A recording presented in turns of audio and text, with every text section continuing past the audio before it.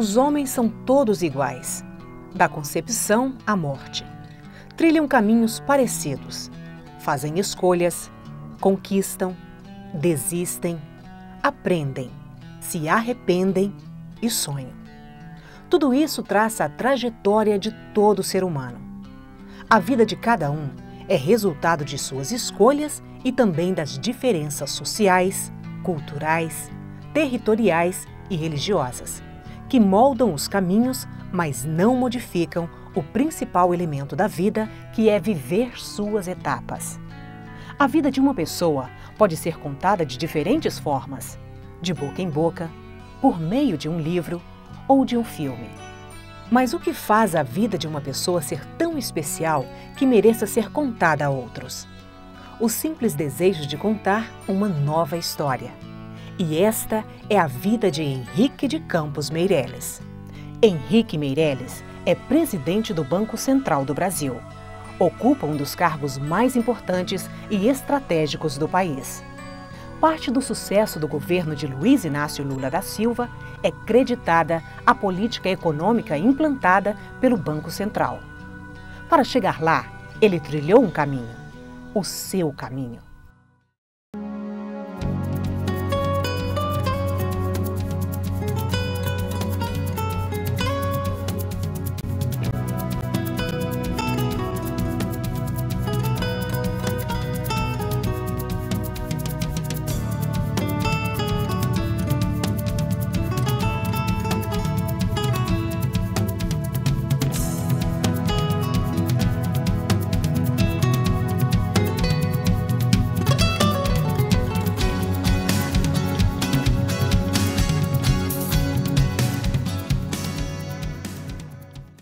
Dona Diva e seu Egesípio, pais de Meireles, já moravam em Goiânia na época do nascimento do caçula da família. Mas optaram por seguir a tradição do clã. Retornaram a Anápolis para que o nascimento ocorresse na cidade onde a família se originou. Henrique de Campos Meireles nasceu em 31 de agosto de 1945. Meus pais, na realidade, moravam em Goiânia quando eu nasci. Minha avó e meu avô moravam em Anápolis, onde tinha inclusive um bom hospital, e existia uma tradição familiar de que todos os netos dos meus avós nasceram em Anápolis. Tínhamos aqui uma infância, na minha infância, uma vida normal de classe média, é, de Goiânia, é, e estudei aqui na minha infância no Colégio São José, depois fui fazer o ginásio no Liceu. E foi sempre um aluno muito dedicado, muito, muito cumpridor dos seus deveres na escola.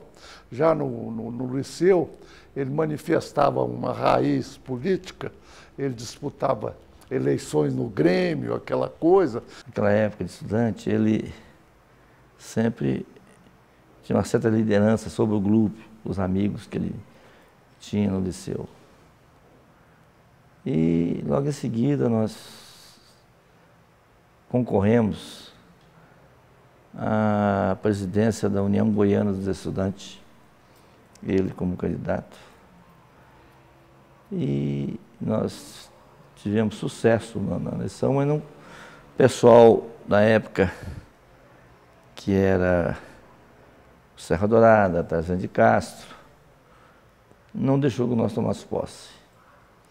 Aí nós fizemos um movimento no estado de Goiás e criamos a Confederação Goiana dos Estudantes. Ele, presidente, eu era o vice. O primeiro voo de Meireles foi rumo a São Paulo, quando prestou vestibular na Universidade Estadual de São Paulo. E quando fiz vestibular, comecei a estudar na Escola Politécnica da Universidade de São Paulo, na época, eu inicialmente optei, inclusive, pelo curso de metalurgia, mas depois concluí que, de fato, eu gostaria de fazer engenharia civil, mudei, fiz engenharia civil. Mas no final do curso, eu interrompi um pouco o meu curso e, juntamente com um colega, uh, nós fundamos uma empresa de engenharia. Uh, e passei dois anos trabalhando como uh, engenheiro, antes de formar ainda, e concluí que, de, na realidade, o que me agradava mais era administrar. Então eu voltei à escola, terminei o curso de engenharia, fiz um, um concurso na época para uma pós-graduação, entrei na, fiz um primeiro ano de pós-graduação de mestrado em análises econômicas e em seguida em administração na Universidade Federal do Rio de Janeiro. E a partir daí segui a carreira de administração e economia.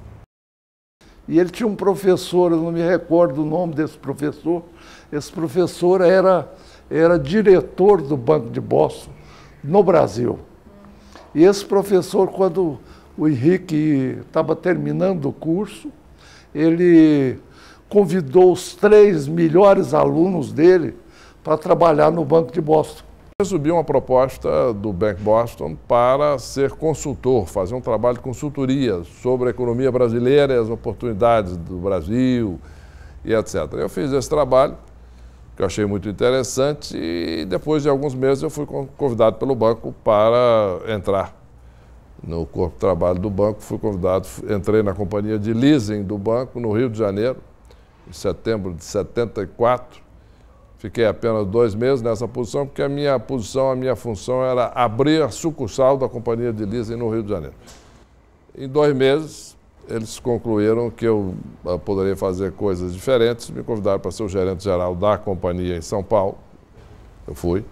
E depois de 10 meses me nomearam diretor da companhia. A partir daí eu comecei a trabalhar. Meirelles enfrenta as barreiras da língua e da cultura. Eu fui convidado para ser o presidente mundial do Bank Boston em 96.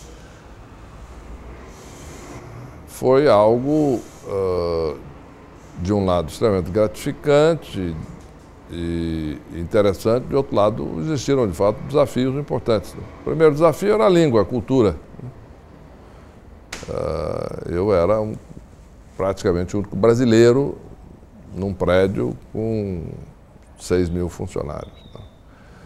Uh, e uma coisa é falar inglês uh, para negócios ou coloquialmente morando no Brasil. Outra coisa é dirigir uma grande instituição financeira internacional em inglês. Os nuances da língua, da cultura. Foram seis anos na presidência mundial do Bank Boston. Meirelles decide então abrir outro capítulo em sua trajetória. Volta para Goiás e dá início à sua carreira política. Basicamente, uh, eu sempre tive a ideia de que eu precisava retribuir um pouco. Eu sempre estudei em escola pública. Quando eu decidi uh, me aposentar de um grande banco internacional em Nova York para voltar ao Brasil, quando optei para voltar a Goiás e me candidatar na época, foi exatamente um reencontro com a minha família, com os meus amigos, com os meus conterrâneos, com as minhas raízes. Em 2002, Meirelles se elege deputado federal por Goiás